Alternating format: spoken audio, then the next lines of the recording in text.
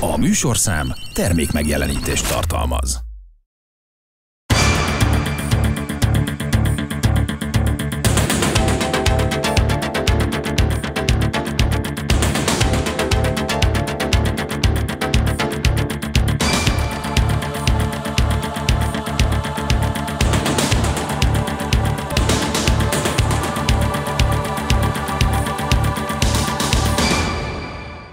Köszöntöm Önöket! Mi mindenre képes a mesterséges intelligencia? Milyen hatása van a társadalomra? Ezekre a kérdésekre kaphattak választ azok, akik ellátogattak a Mátiás Corvinus kollégium előadására. A köztérben számítunk figyelmükre. Tőlem nem technikai és műszaki ismereteket fognak majd hallani, hanem inkább gondolatokat arról, hogy ez az új eszköz, ez az új technológia milyen változásokat fog majd hozni a társadalomban, és arra ne várjanak, hogy megmondom a tutit, vagy megmondjuk kollégámmal a, a tutit, mert jelen pillanatban azt érzékeljük, hogy van egy hatalmas nagy változás, egy gyors fejlődés, és nem látjuk, hogy hova fut ki, de kérdéseket a témával kapcsolatban már fel tudunk tenni. És rögtön ezzel is szeretnénk kezdeni az előadást, rögtön kérdéssel, és ezzel kapcsolatban szeretném megkérni a, a kollégámat, hogy ebben legyen segítségemre. Akkor először is egy játékkal kezdenénk a napot. Ö, aki szeretne részt venni a játékban, az a menti.com-ra kellene felmennie a telefonjával, és ö, szimplán ö, ezt a kódot beírni az honlap oldalán. Ott majd egy kérdést fognak találni, és erre a kérdésre kell majd válaszolniuk. A kód 38 93 87 72. Látható volt itt a, ebben a két kérdésben, amit föltettünk, hogy az itt ülőknek a többsége inkább közeli, és inkább a mindennapokat érintő területnek érzi a mesterséges intelligenciát. Fanni, arra kérlek meg téged, hogy segíts, hogy indítsuk el a, a prezentációt újra. Ez nagyon érdekes, hogy így látják. Én is így látom, és azért érdekes, hogy így látják, mert néhány évvel ezelőtt készítettünk egy közvéleménykutatást, megkérdeztünk reprezentatív minta segítségével a magyarországi felnőtteket ugyanerről a kérdésről. Nagyon érdekes, hogy mit mondtak annak fejében, amit most önök mondtak, mert egészen mást gondoltak a magyarok, ugyanis néhány évvel ezelőtt a magyarok azt gondolták, hogy ez inkább a távoli jövőben lesz majd valami, meg azt gondolták, hogy ez inkább ilyen valamilyen bonyolult, messzi dolgok, és nem a hétköznapokat érintő dolgok lesznek. Képzeljék el, hogy ebben a kutatásban azt is megkérdeztük, hogy mit gondolnak, hogy mikor lesz a mesterséges intelligencia alkalmas arra, hogy egy olyan bonyolult játékban, mint a sakk, megverje az embert. A megkérdezettek 75%-a, vagy egy kicsivel többen azt mondták, hogy ó, hát még nagyon sok időnek kell ahhoz eltelnie. Ezt a kutatást olyan 2018 környékén végeztük el, Kettő, 1997 volt az az év, amikor az IBM Deep Blue alkalmazása, vagy hát számítógépes programja az akkori sakvilágbajnokot, Gári Kasparovot megverte sakban. 2017 volt az az év, amikor a mesterséges intelligencia egy nap alatt megtanult sakkozni, és tönkreverte a Gary Kasparovot megverő számítógépet.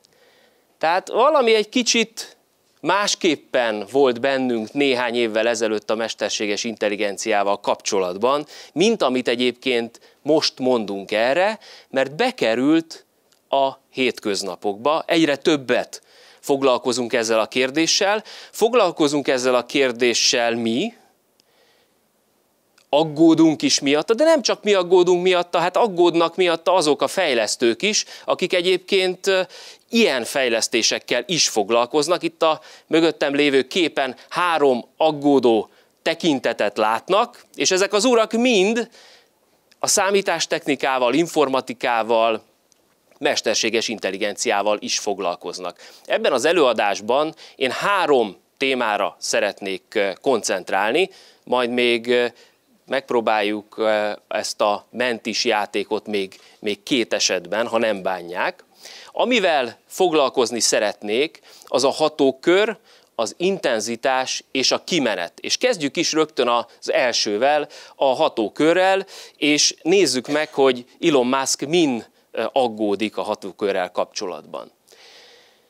Azt érzékeljük, hogy a mesterséges intelligencia megoldásoknak van egy rendkívül széles, nem is nagyon átlátható hatóköre. Nagyon sok helyen jelenik meg.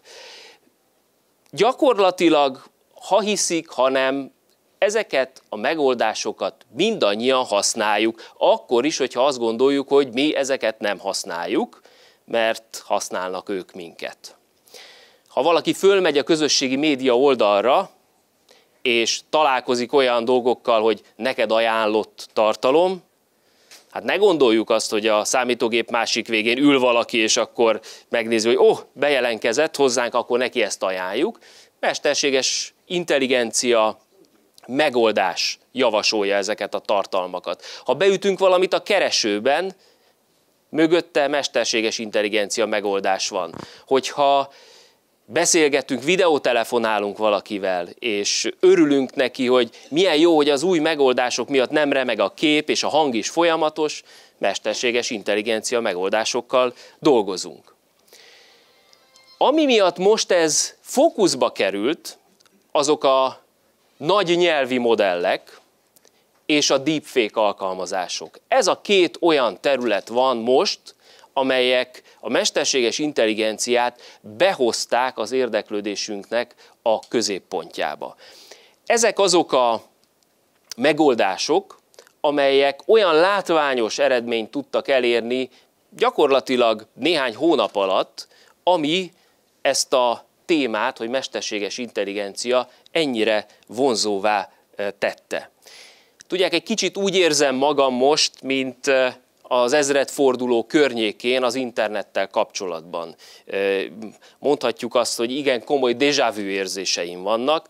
Annak idején ott a Műszak Egyetemen, amikor az Információs Társadalom és Trendkutató Központban foglalkoztunk az infokommunikációs forradalomnak a nagy vívmányával, az internettel, nagyon sokan kerestek meg a sajtó különböző képviselői, hogy itt van ez a furcsa dolog, ez az internet, menjünk és meséljünk róla, mert hogy azt lehet hallani, hogy itt mindenki bombát gyárt, illetve tele van pornóval.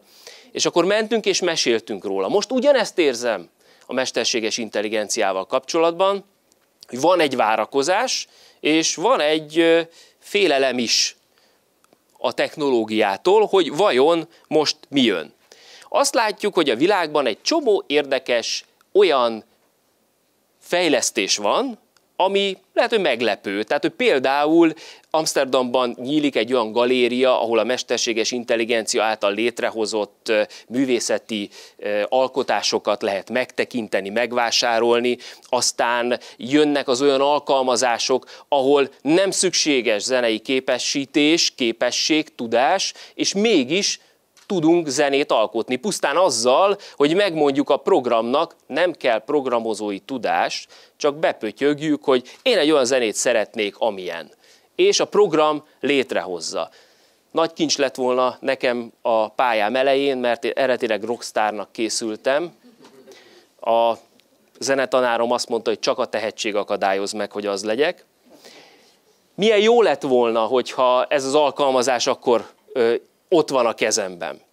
Genfben tartanak robotok sajtótájékoztatót, ez a tavalyi év nyarán volt. Japánban olyan mesterséges intelligencia megoldást fejlesztenek, amelyik gondolatolvasásra lesz majd képes, vagy erre akarják képessé tenni, és sorolhatnánk. És hogyha azt gondoljuk, hogy persze, persze, Japán, meg Amsterdam, meg Svájc, meg egyebek, hogy ott nem, kérem Magyarországon is.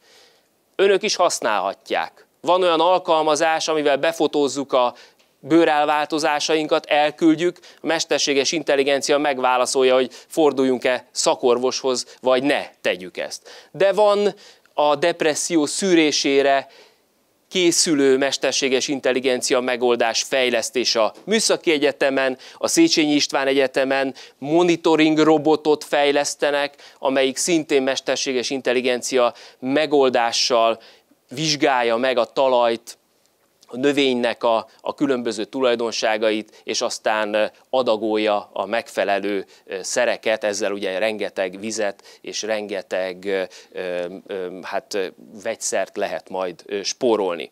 És költ is rá a kormányzat, tehát ezt folyamatosan, persze nem 20.205-ig költi ezt a pénzt, ott van benne egy, egy elütés, tehát akkor nem lenne sok, hanem gyakorlatilag ez néhány év alatt elköltik. Ahol ugye mi mesterséges intelligencia megoldásokkal találkozunk, azok azért azok az alkalmazások, amelyek képernyőn keresztül jutnak hozzánk. Leggyakrabban azért itt találkozunk vele, és hát képernyőből áll az egész világ, rengeteg időt töltünk a képernyők előtt, én meg sem merem nézni, hogy mennyi a napi képernyőidőm, mert biztosan, biztosan nagyon sok, és nem csak a mobilon, hanem a számítógépeken is bámuljuk ezeket a, a képernyőket. Természetesen, hogyha világ viszonylatban gondolkodunk, és mondjuk nem csak a fejlett világot nézzük, akkor ez persze nem így van. Nagyon szeretem ezt a képet, ezt az éjszakai képet, a Földet ábrázolja éjszaka, és pont látszik benne, hogy hol van terepe igazán a mesterséges intelligenciának, ott, ahol fény van ahol sötétség van, ott még, ott még kevésbé érzékelhető ez a mindennapokban. Hogyha az intenzitására, a mesterséges intelligencia intenzitására gondolunk, akkor azt érzékelhetjük, hogy nagyon gyors fejlődése volt az elmúlt néhány hónapban. Gyakorlatilag azt tapasztalhatjuk, hogy pár héttel ezelőtt, tehát egy-két hónappal ezelőtt volt egy konferencia a Nemzeti Közszolgálati Egyetemen, amelyik a mesterséges intelligenciával oly módon foglalkozott, hogy hogyan kell ezt kutatni, illetve milyenek azok az ismeretek, amelyek a mesterséges intelligencia kereséséhez, vagy nem kereséséhez, hanem alkalmazásához szükségesek. Ott voltam ezen a konferencián, és a kollégákkal azzal foglalkoztunk egy egész napon keresztül, hogy minek hívjuk ezt, hogy ez mesterséges intelligencia, írás, tudás, mesterséges intelligencia, műveltség, ez készség. És azon gondolkodtam el, hogy tulajdonképpen még azt se tudjuk, hogy nevezzük ezt a dolgot, de száguld, mert a ChatGPT-nek ugye már sokadik része van kint, és közben kereket kellene rajta cserélni, mert le kéne szabályozni, mert nagyon sokan beszélnek arról, hogy, hogy túl gyors, túl messzire mehet. Értsük azt meg, hogy amikor játszunk a mesterséges intelligenciával, tehát például a ChatGPT-t piszkáljuk, akkor tanítjuk a rendszert. Elmeséljük neki, hogy mi hogyan gondolkodunk. Ezek az adatok, ezek a kérdéseink rögzített adatok lesznek. Elképesztő mennyiségű adat gyűlik össze, amelyel a rendszer az tökéletesíthető, ezzel a fejlődése gyorsítható. Van egy híres elmélet, a Kondratyev hullámok vagy Kondratyev ciklusok elmélete, amelyik azzal foglalkozik, hogy a különböző ilyen nagyobb technológiai innovációk milyen gyorsan terjedtek el a társadalomban. És azt mondja Kondratyev, hogy a ciklusok azok egyre sűrűbben és egyre nagyobb intenzitással, egyre nagyobb mondjuk azt, hogy hatással járnak a társadalomban, és aztán tovább vezették Kondratyevnek a, az elgondolását, és hát a mesterséges intelligenciát ide a hatodik hullámra írták. Többféle megoldás van egyébként, többféle képpen ábrázolják ezt, ez az egyik. Hogyha nézzük a különböző mondjuk így fontos technológiai változásokat, akkor nagyon látványos, hogy mennyire gyorsultak ezek. Tehát, hogy, hogy milyen lassú volt mondjuk a, az automobilitásnak az elterjedése, vagy a telefon elterjedése a társadalomban, és látják ott milyen meredek például a mobil technológiának a, az elterjedése. És hogyha megnézzük ehhez képest a ChatGPT-t és néhány mindannyiunk által ismert alkalmazás vagy megoldással kapcsolatban, akkor azt látjuk, hogy míg a ChatGPT-nek ahhoz, hogy egy millió felhasználót elérjen, öt napra volt szüksége, addig mondjuk a Netflixnek kellett három és fél év, a Facebooknak kellett tíz hónap. Látványos a használóknak a, a intenzitás növekedése, ugye a ChatGPT már ugye sok milliárdos felhasználói kört ér el, és természetesen elsősorban a fiatalok azok, akik először ezzel a a technológiával elkezdenek dolgozni, elkezdenek játszani. Van egy másik elmélet, aztán talán nem is akarok többet mondani elméletet, de ezt még talán kibírják. A, az innovációk terjedésével kapcsolatban Rogers megfigyelte, hogy a társadalmon belüli való elterjedésnek van egy jól meghatározható görbéje. Az elején kevesen kezdik el használni az új technológiát, mert nagy befektetéssel jár, akár anyagival, akár szellemi befektetéssel. Meg kell tanulni, hogyan kell használni, ki kell próbálni, az elején még tele van hibával, egyebek, és aztán pedig elkezd a társadalom bekapcsolódni az új paradigmába, és egyszerűen nagyon sokan kezdik használni. Aztán később pedig ugye egyre kevésbé kapcsolódnak bele a lemaradók, ebből egy ilyen szép egypupu teve grafikon rajzolódik ki.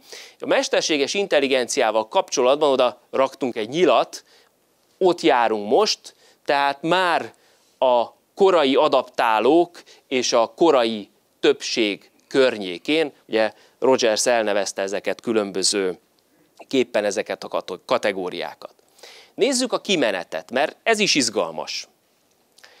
Kimenettel kapcsolatban az első fontos megállapításunk, hogy egy fekete dobozzal van dolgunk. Azt látjuk, hogy mi mit küldünk be, azt látjuk, hogy mi mit kapunk meg, de azt nem látjuk, mi történik a dobozban. Már pedig a dobozban valami történik, nyilván ott van elrejtve az ördög ezekben a, a részletekben, de gyakorlatilag a technológia ma már alkalmas arra, és ez nem ma kezdődött, hogy nekünk nem kell tudnunk arról, hogy mi történik ott, mert a gép teszi a dolgát. Az első két ilyen vállalat volt, nekem nagyon kedvencem ez a két példa, aki, aki ezt felismerte, hogy el kell venni a mérnököktől a különböző technológiai eszközöknek a, a paramétereinek az összeállítását, és oda kell adni a designereknek, mert ők tudják azt, hogy hogy, hogy lesz a, a humánnak az élvezetes. Az egyik a, az iPhone. Az iPhone nem csak azért volt forradalmi, mert lehetett a képernyőt böködni, már megvoltak azok a telefonok, amivel lehetett a képernyőt böködni. Az iPhone azért volt forradalmi, volt rajta egy gomb. Azt kellett megnyomni. A Google mai napig úgy működik, hogy van egy kis sáv, oda kell beírni. Nincs telerakva mindenfélével, hogy elveszem benne a felhasználó, majd azt a gép, a fekete doboz elintézi. A mesterséges intelligencia is ilyen nem kell tudni megtanulni programozni, elegendő megmondani neki, hogy én szeretnék egy ilyet, vagy szeretnék egy olyat, írjál nekem verset, megoldja. Jobbat ír, mint én. És rögtön előhozza a sebezhetőséget. A black boxból fakadóan is, illetve a hatókörből, intenzitásból fakadóan is. Újfajta unokázós csalás terjed, illetve adja meg az alapot a mesterséges intelligencia. Ugye megtanítottuk a, az idős hozzátartozóinknak, hogy ne higgyék el, hogyha éjszaka fölhívják őket telefonon, hogy baleset történt velük. Na de mi van akkor, hogyha a telefon tényleg az én nevemet írja ki, és tényleg az én hangomon beszélnek a másik oldalon. Nem akarok senkit elkeseríteni, vagy megijeszteni, de ez már mar lehetséges. Ez nem nagy dolog ezt megcsinálni. A technológia alkalmas erre. Talán sokan hallották önök közül, hogy a, az egyik ilyen chat robot öngyilkosságba segítette az egyik alkalmazóját. Addig sikerült beszélgetni egymással, ameddig azt a megoldást találták mindketten kivezetőnek a, a, az embernek a, a szorult helyzetéből, hogy öngyilkos lesz. Aztán azt is látjuk, hogy maguk a fejlesztők is olyanokat mondanak, hogy potenciálisan mi olyan dolgot fejlesztünk, amiből nagyon-nagyon nagy baj lesz. Persze azért, amit a fejlesztők mondanak, azt rögtön zárójelbe is kell tenni. Én is így csinálnék. Ha nekem lenne, enyém lenne az OpenAI, én fejlesztettem volna a ChatGPT-t, akkor most úgy ordítanék, hogy szabályozzák le a rendszert. Gondolják meg, mennyi adaton ülnek azzal, hogy ők lettek az elsők. Rengeteg adaton rögtön az az érdek, hogy a többiek ehhez ne férjenek hozzá. De nehogy már nekik is sikerüljön. Ezt értjük, de ugyanakkor azért az a fajta aggodalom, ami körülveszi a technológiai fejlesztést, az mindenképpen figyelmet érdemel. És ugye fiatalokat ígértünk, illetve fiatalokkal kapcsolatos kérdést ígértünk, és akkor ismét átadnám önöknek a feladatot, illetve Fanninak a, a feladatot, hogy egy, egy újabb játékra invitáljuk önöket. Itt is lesz két kérdés. Akkor uh, ugyanúgy a menti.com-ra kellene majd felmenni, és uh, ha sikerült, várok egy kicsit. És akkor mondom a számokat. 6, 9, 8, 7, 7, 5 és 7, 9. Köszönjük szépen a válaszokat. Én ilyesmire számítottam, nem tudom, hogy önök mire számítottak. Én, én abszolút e-, ezekre a válaszokra gondoltam. Ugye amikor fiatalokról, meg ifjúságról beszélünk, azért arra fontos utalni, hogy milyen fiatalokról beszélünk? A régebb óta fiatalokról, vagy a mostani ifjúságról? Hogyan értelmezhető egyáltalán a, az ifjúság? És csak nagyon ö, gyorsan és így, így tő mondatokban, én azt gondolom, hogy érdemes megkülönböztetni azt az ifjúságot, amely a rendszerváltás előtti világot jellemezte, mondhatjuk rájuk, hogy ők a táborok ifjúsága voltak. Más volt az a szocializációs tér, amiben ők felnőttek. Alapvetően a szabadidős tereket, az intézményesítettség jellemezte, igyekezett az állampárt a szabadidőre is hatással bírni, és táborokban, különböző délutáni elfoglaltságokban hát szervezett módon foglalkozni a fiatalokkal. Ugye a nem szervezett módtól azért féltek, hogy nehogy önállóan kezdjenek el gondolkodni a fiatalok. A rendszerváltás követően azonban egy új ifjúság jelent meg, Mondhatjuk rájuk, hogy ők az első globális nemzedék. Ők azok, akiket már a nyugati MTV és hasonló hatások értek. Nagyon érdemes megnézni, hogy ekkor már nagyon közös az a életvilága, hogyan a fiatalok szocializálódnak. A szabadidős tereiket alapvetően a, ezek a kommercializált terek jellemezték, mondtak olyanokat is róluk, hogy ők a plázáknak az ifjúsága, meg a fesztiváloknak az ifjúsága. És aztán valamikor ugye a 2010-es évektől egy új korszak lépett be, ez az új korszak a digitális kultúrának a korszaka, a virtuális tereknek a, a korszaka, és hát ennek a nemzedéknek mondhatjuk, hogy, hogy egy alapjellegzetessége az, hogy egy kicsit csendesebb, mint a, a korábbiak, egy kicsit visszahúzódóbb, mint a korábbiak. Hát hol vannak a forradalmi ifjak már ugye ebben a, a virtuális világban? Hogyha a mostani kurrens statisztikákat, adatokat nézzük, akkor az ifjúsággal kapcsolatban hét jellemző érdemes elmondani. Ez a hét jellemző a következő. Egyrészt egy szűkülő, de mégis bővülő társadalmi csoport. Szűkülő azért, mert kevesebben vannak. A 15-29 évesek ma Magyarországon 1,6 millió főt tesznek ki. Az ezredfordulón 2,2 millió fő volt. 600 ezer fiatal eltűnt. Kevesebb gyermek születik. Erről van szó. De mégis bővül, és tudják, azért bővül, mert egyre korábban lépnek be az ifjúsági életszakaszba, majd 13-12 éves sokkal többet tud, mint 50 évvel ezelőtt egy ugyanilyen korú. És egyre később lépnek ki. Tehát 30 néhány évesen még simán lakhatunk otthon, mama hotel, papabank, mond valakinek valamit ez a jó kis kifejezés. Látjuk azt, hogy a fiatalok, ha kérdezzük őket, családot akarnak, gyerekeket akarnak, házasságban akarnak élni, olyan konzervatívok, hogy hüha. Miközben nem élnek házasságban még, nincsenek még gyerekeik, kitolódik ennek a fontos döntésnek a meghozatala. Azt is látjuk a statisztikákból, hogy nem tudom, ha valaki úgy érkezett ide, hogy a fiatalok nem dolgoznak, az rögtön dobja el magától ezt a gondolatot, mert egy kifejezetten aktív ifjúság van munkapiacon. A 15-29 éveseknek több mint fele dolgozik, folytat kereső tevékenységet. És egyre kevesebben vannak, mondjuk az elmúlt évtizedet nézve egyre kevesebben vannak az oktatási rendszerben, de mondok egy ennél még durvábbat, egyre kevesebben akarnak tanulni még valamit.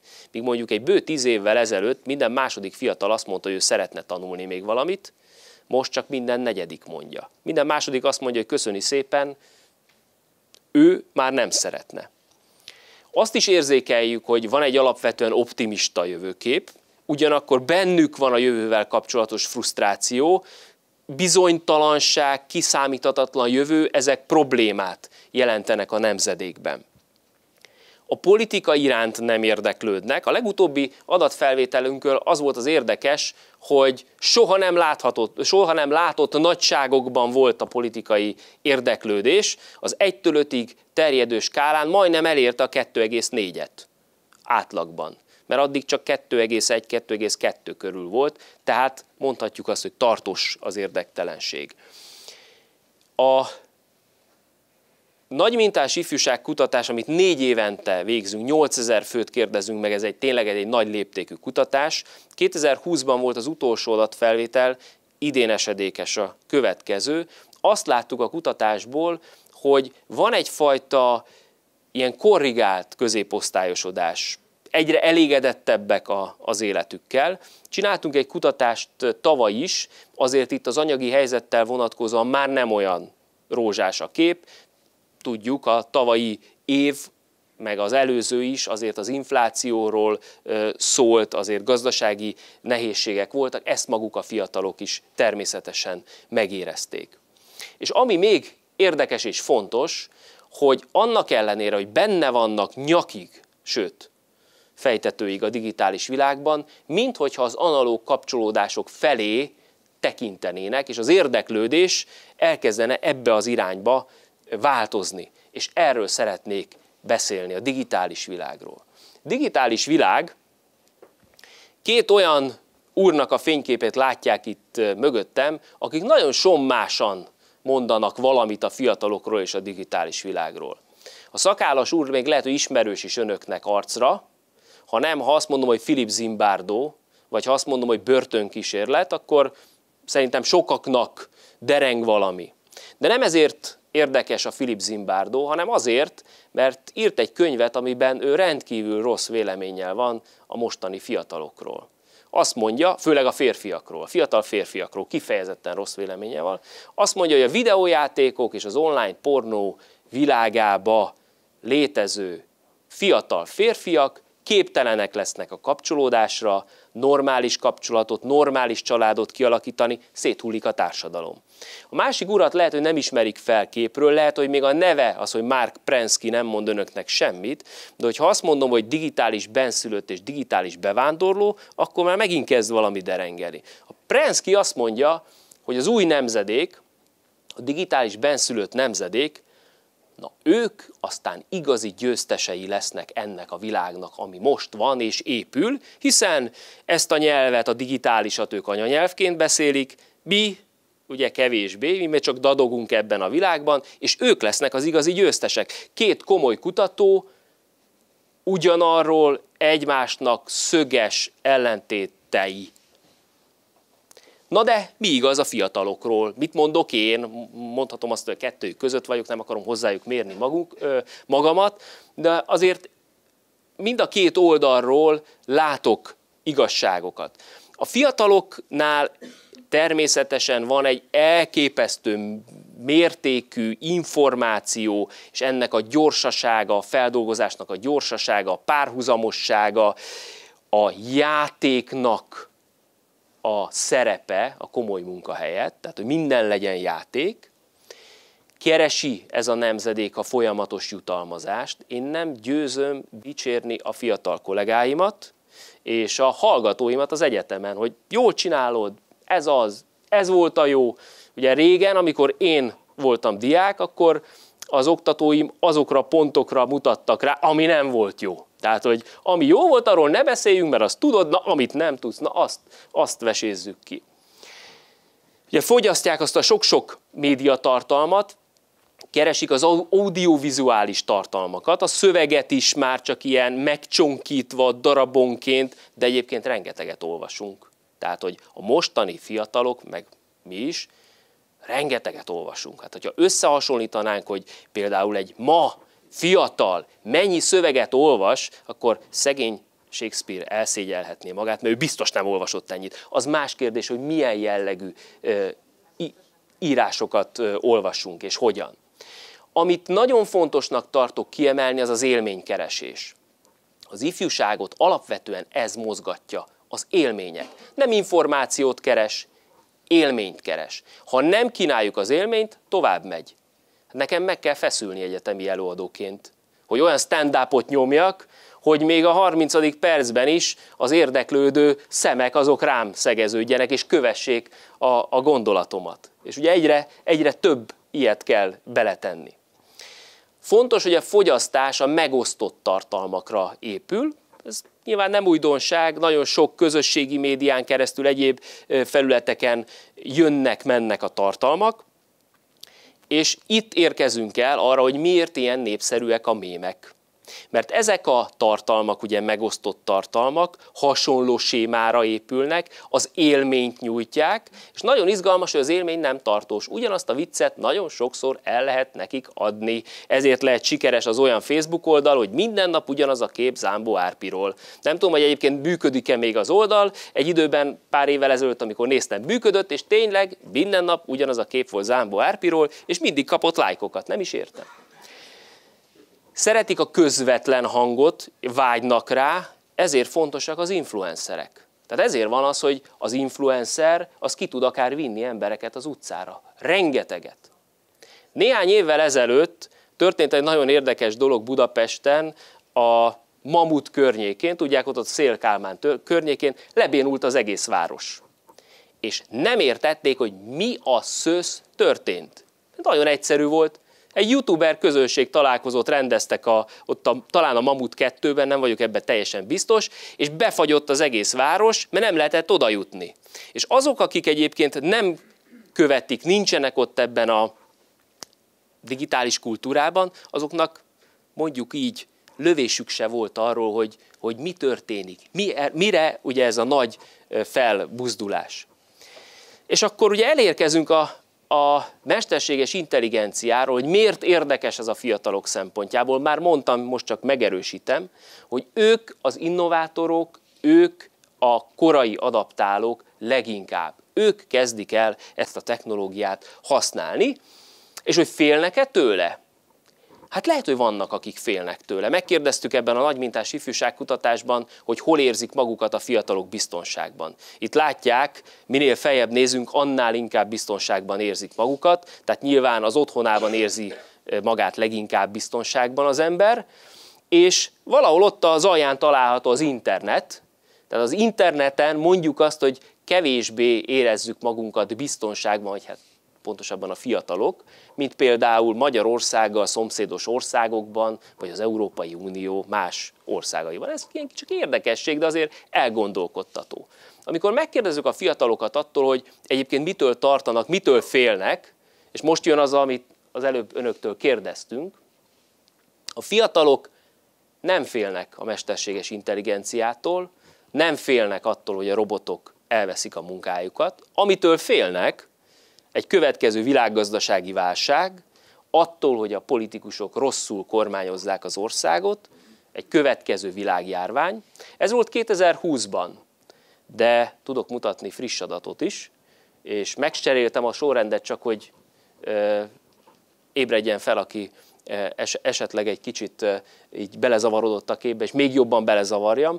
Ugyanazt jelenti, csak meg van fordítva. Tehát itt is legkevésbé félnek a mesterséges intelligenciától, robotoktól, és félnek jobban attól, hogy rossz kormányzás, gazdasági válság, egyebek. Na, ami az érdekes, hogy három év alatt az általános félelemnek a szintje az növekedett nem magyarországi jelenség, nem elsősorban ifjúságra vonatkozó jelenség, világjelenség.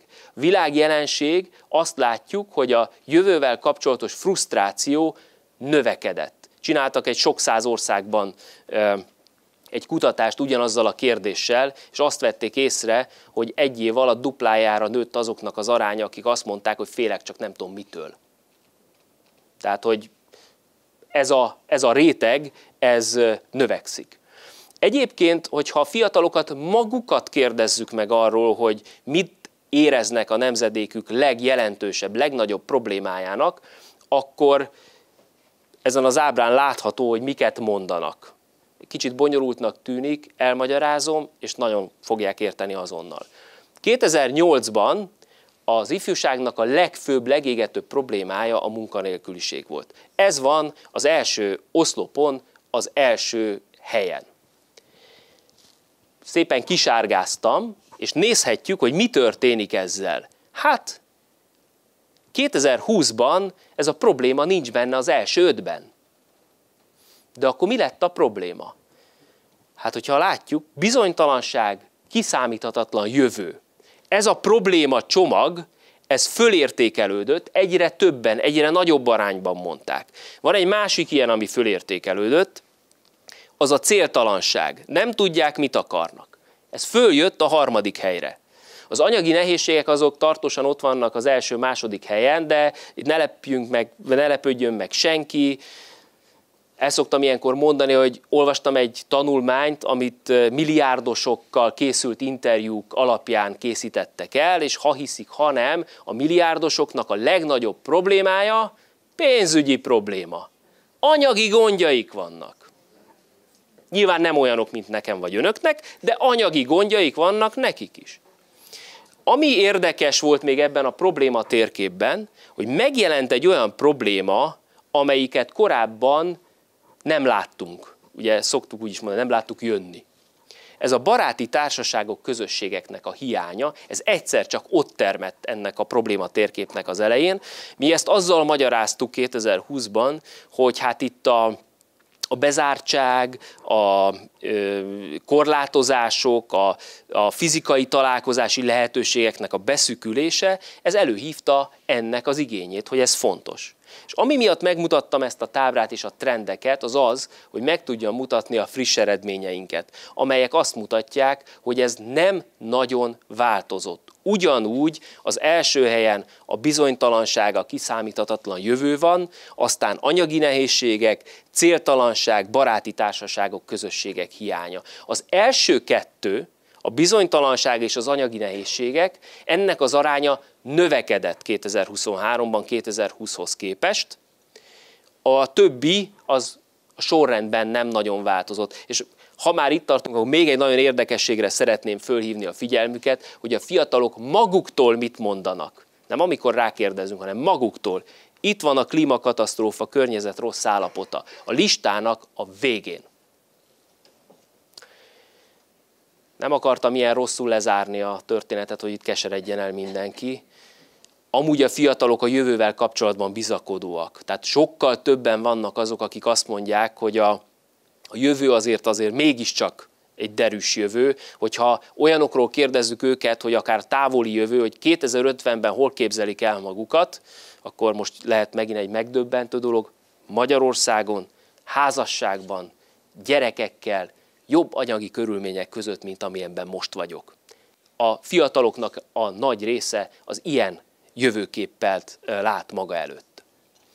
És akkor visszatérve a mesterséges intelligenciára, és egy kicsit konkrétabban is foglalkozva ezzel, hogy mit jelent a mesterséges intelligencia most, jelen pillanatban, azonnal, és mit jelent a fiatalok életében, és mit jelent középtávon számunkra.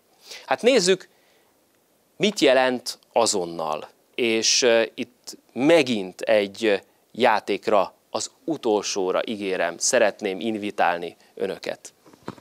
Akkor hasonlóan ugyanúgy a menti.com-ra kellene majd felmenniük, és az 1-1, 4-6, 4-9, 6-5 számot kell beírni, és majd ezután vetítjük ki a válasz lehetőségeket. Akkor mondom újra, 1-1, 4-6, 4-9, 6-5. Be kell vallanunk, hogy súlyosan átvertük önöket. Egyik kép sem valódi. Vannak olyan oldalak, az ember fölmegy, folyamatosan adja és adja és adja az új, nagyon valódinak tűnő arcokat. Engem ezekkel a képekkel meg lehet vezetni. Tehát én ránézek, és azt mondom, hogy ezek valódi személyek, elhiszem, abszolút elhiszem neki. A mesterséges intelligencia deepfake megoldásainak van egy ilyen tulajdonsága, ami bizonyos értelemben, vagy bizonyos tekintetben nagyon jó. Tehát gondoljunk abba bele, hogy ez mennyi lehetőséget kínál számunkra. Tehát ott vannak azok a filmszínészek, akiket elveszítettünk. Szeretnénk velük egy új filmet. Mestersége, intelligencia tudja ezt kínálni. Óriási etikai kérdés egyébként, hogy vajon szabad-e föltámasztani James Dean-t, vagy, vagy bárki mást, és egy újabb filmet megnézni velük. Ez egyébként egy teljesen kúrens etikai kérdés, amivel kapcsolatban most folyik a gondolkodás, hogy hogyan legyen. De van olyan, amelyik a hétköznapokat érinti. Egy tavalyi eset egy spanyol kisvárosban történt, hogy néhány középiskolás fiatal fiú egy alkalmazás segítségével levetköztetett néhány lányt. Ez a, az alkalmazás egy nagyon egyszerű módon működő alkalmazás, talán 10 dollárért 25 kép, vagy 25 dollárért 10 kép, már nem is tudom, hogy hogy van, volt ez pontosan. Tehát annyi, hogy küldünk az alkalmazásnak, hogy feltöltünk egy képet, megkérjük, hogy vetköztesse le, és visszakapjuk mesztelenül. Ez tök jó ötlet, ugye? Fiatal fiúk, az ellenkező nem iránt érdeklődő fiatal fiúk számára ez egy nagyon jó szórakozás lehet. Ott az osztálytársnők, iskolatársaknak a képeit te, teljesen nyilvános képeit letöltögetni a közösségi médiáról, és aztán hip-hop már is nincsen rajta ruha. Eddig nagyon szuper a dolog, még az, hogy egymás között osztogatták, biztos érdekes volt. A dolog ott lett nagyon nem érdekes, amikor a lányok, akiknek a képével ezeket csinálták, otthon sírva magyarázták az anyukának, hogy de nem én vagyok a képen, és anyuka nem hiszi el. Tehát az anyuka nem hiszi el. Tehát nem arról van szó, hogy, hogy hogy bárki nem, maga a szülő nem hiszi el, vagy hogy ez a gyerek utána hogy megy végig a, a kisvárosnak az utcáján, tudva azt, hogy ő nem tett semmi rosszat, mégis mindenki ferdén néz rá. Kell pszichológust hívni, a srácokat törvény elé citálják, pedig a jó tréfának tűnt ez a, a dolog. Szóval egy nagyon komoly kérdést vet fel, mert a küszöb alacsony. Tehát küldöm a 10 dollárt, küldhetem a 25 képet.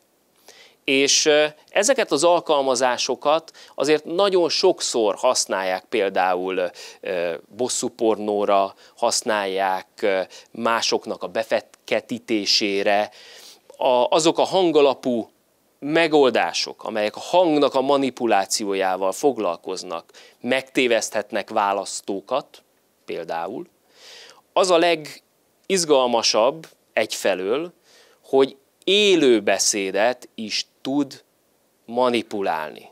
Tehát én mondjuk itt állok önök előtt, ott vesz engem a kamera, én beszélek bele, de a drót másik végén azt látják, hogy nem is én beszélek, hanem mondjuk Barack Obama beszél, és ugyanúgy mozog a szája, mint az enyém, és ugyanazt mondja, mint én. Vagy engem látnak, mozog valahogyan a szám, jó ritmusra, és mást mondok, mint amit most mondok önöknek. És mindezt élőben, tehát nem az, hogy felvesszük és akkor megmanipuláljuk, erre képes a, a mesterséges intelligencia. Amivel mi oktatók találkozunk, ez a nagy nyelvi modelleknek az alkalmazása, ugye ebből a leghíresebb a ChatGPT. Én oktatóként visszatértem a ZH-hoz, papíron, tollal iratom velük, és járkálok közöttük, és nézem, hogy nem puskáznak-e, mert annak nem sok értelmét látom, hogy adjak nekik eszéírási feladatot, mert megírja a chat GPT-nek, aztán én meg visszakapom, elolvashatom. Zajlik éppen Budapesten a, az oktatásról szóló summit, a MCC-nek a nagy nemzetközi konferenciája. Tegnap egy kerekasztal beszélgetésen ültem, ahol a, az AI alkalmazását a, az oktatási környezetben vizsgálták, erről beszéltek, és azt mondta az egyik külföldi vendég, hogy, hogy képzeljük el, az oktató a ChatGPT segítségével megírja a tesztet, tehát hogy milyen kérdéseket tegyek fel, a diák a ChatGPT segítségével megírja a válaszokat, az oktató a ChatGPT segítségével leosztályozza az anyagot, Hát miért van szüksége ugye egyáltalán az emberre? Az egyik informatikus kollega azt mondta, hogy minden rendszer kiválóan működik, ne tegyük bele az embert, mert az hibázik. Hát ugye itt is szépen ellenne. Megjelentek azok a megoldások egyébként, amelyekkel tudjuk vizsgálni, és jó eséllyel is ki tudjuk szűrni azokat a szövegeket, amelyeket mesterséges intelligencia generált.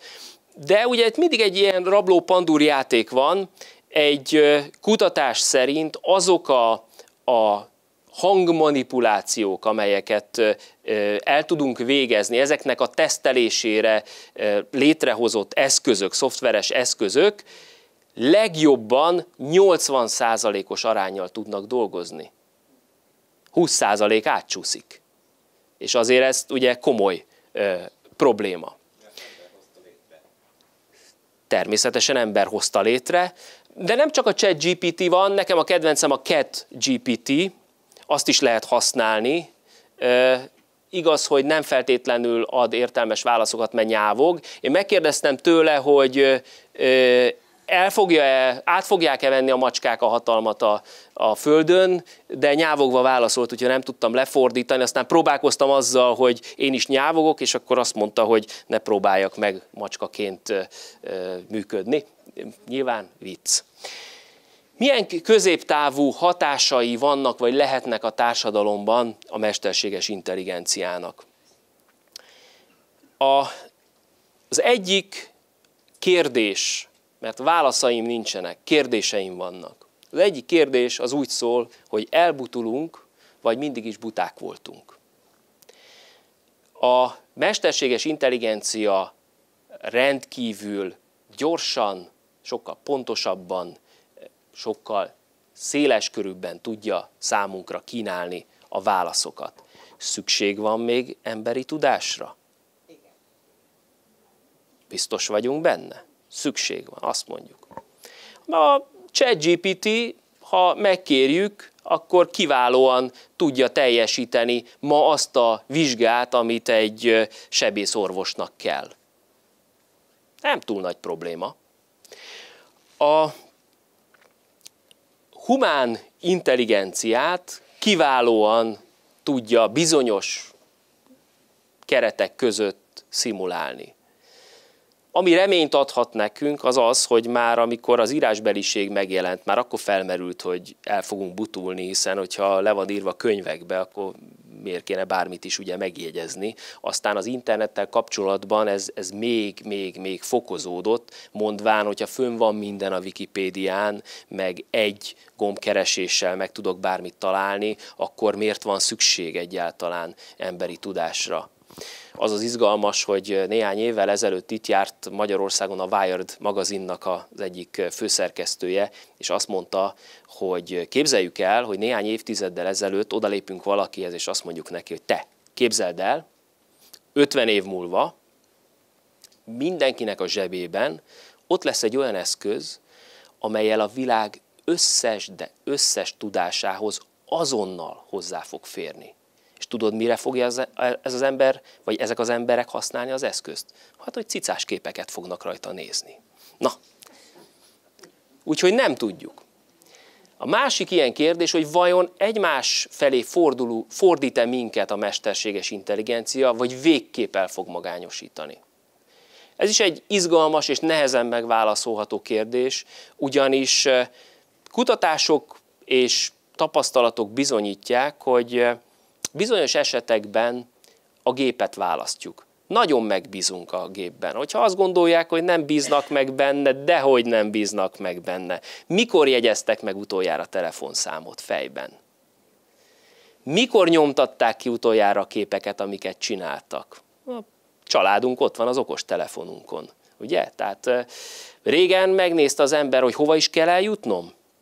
Most beülünk a kocsiba, ütjük be a GPS-be, aztán hajrá menjünk, mert nincs idő már előre kikeresni, hogy, hogy merre fogok menni és hogyan. Nem kell erről elképzelni, hiszen a technológia ott van, és kínálja számomra a megoldást és a jó megoldást. Olyan bizalmat épít a technológia, ami elképzelhetetlen volt.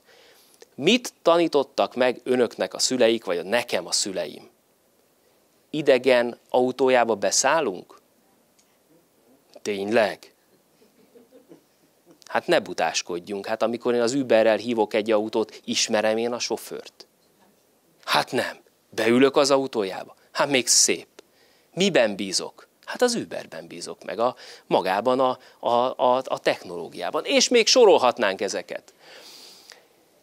A, képzeljék el, hogy csináltak egy ilyen kísérletet a, ugye a japánok ilyen dolgokban nagyon előjárnak, és vannak olyan idősekkel foglalkozó intézmények, egészségügyi, meg szociális intézmények, ahol van a humán mellett robot is, robotasszisztens. Megkérdezték a, a, az ott lévő pacienseket, hogy melyiket szeretik jobban, a humánt vagy a robotot. Mit gondolnak, hogy mit mondtak? Na de miért a robotot mondták? A robot, azt mondták, emlékszik a nevemre. Tudja, hogy hívnak.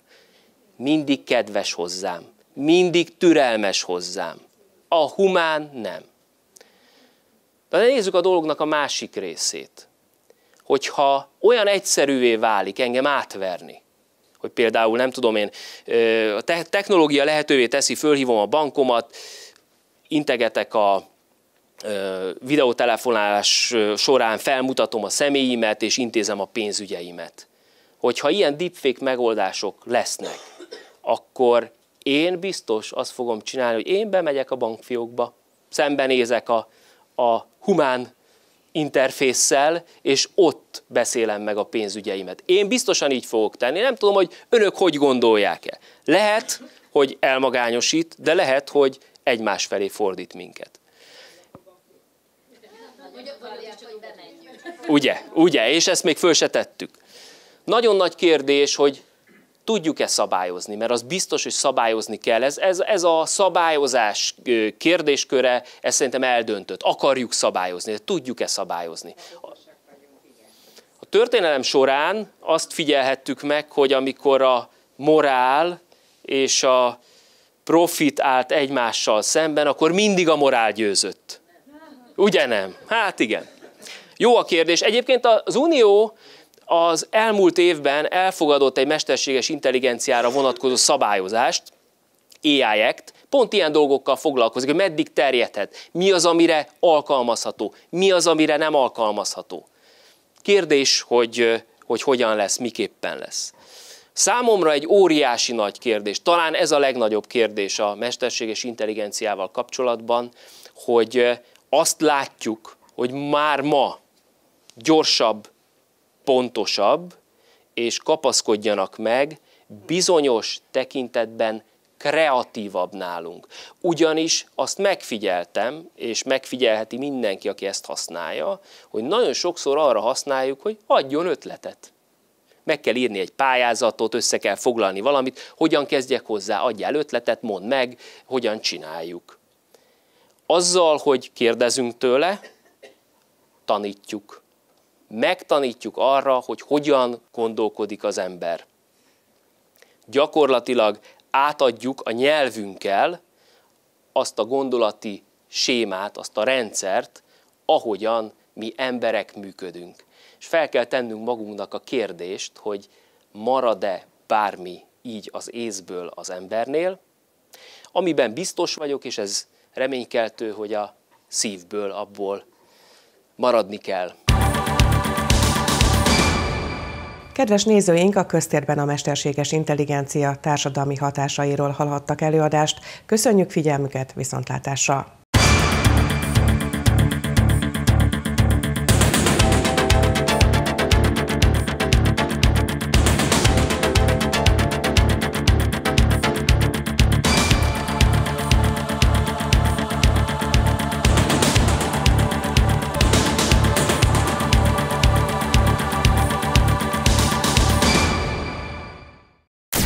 Műsorszám termék megjelenítést tartalmazott.